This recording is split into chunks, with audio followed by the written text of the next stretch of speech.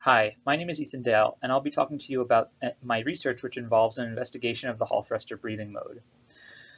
So Hall thrusters are a flexible electric propulsion technology that is widely deployed for near-Earth applications like station keeping of satellites, and increasingly being slated for deep space missions like the upcoming NASA mission to Psyche. As with any in-space propulsion technology, the stability of these devices is critical. Understanding the onset of instabilities, the transition between them, between them and their growth is paramount for the success of, of these devices. Unfortunately, Hall thrusters exhibit a wide range of instabilities, many of which are still poorly understood. And the interaction between them and transition from one to the other is especially poorly understood. So for example, one of the largest instabilities and most ubiquitously seen is called the Hall thruster breathing mode. And here you can see two high-speed video stills uh, of a thruster exhibiting this mode. So at the peak in discharge current, the plume is very bright, and at the trough in discharge current, the plume is very dim. And these are only separated by tens of microseconds. So in this case, for the breathing mode, uh, there are theories existing to describe it, but they have little predictive power, and they're experimentally unvalidated. So the, under, the, modern understanding of the breathing mode isn't very helpful from a design standpoint and from verifying the stability and reliability of, Hall, of a Hall thruster in flight.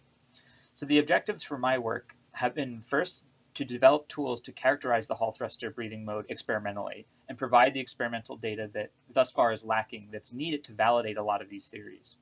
After that, uh, actually applying these tools to gather that experimental data then providing a validated qualitative description of the instability. So using this data that I've gathered to come up with uh, with a uh, intuitive intuitive explanation about uh, where the breathing mode is coming from, where it's what its energy source is, how it grows, how it damps, and finally provide a validated analytical description of the instability. So taking all this data together to come up with a simple, intuitive analytical model that can be used to predict its onset and growth.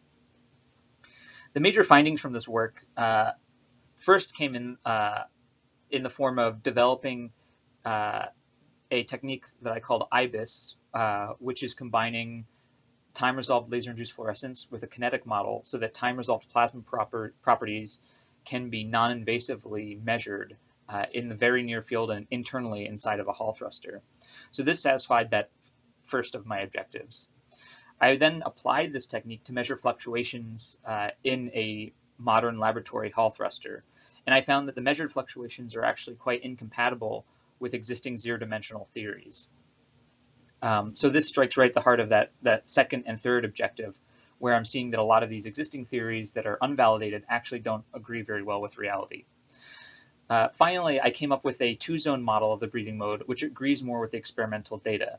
And you can see this uh, in the bottom right here, where essentially I, I propose the following process, that uh, there's ionization that's happening in the downstream typical ionization region, uh, which produces a, an excess of hot electrons, which then travel upstream. Eventually they reach the anode sheath, which uh, after some phase delay produces an excess of neutrals, which then slowly propagate downstream and reach the ionization zone and restarts the process. Uh, and so in this way, um, a, a, more uh, experimentally consistent model of the breathing mode is produced that still doesn't deviate terribly far from, uh, from the existing intuition about it, but provides more insight into what's actually how it's growing and what its energy source is. Uh, and additional one-dimensional studies are being conducted on this to kind of get at the heart of that last fourth objective of providing a validated analytical description of the instability. Uh, and that work is ongoing, um, but is showing promising results in being able to apply this two-zone model to a simple analytical uh, description of the breathing mode.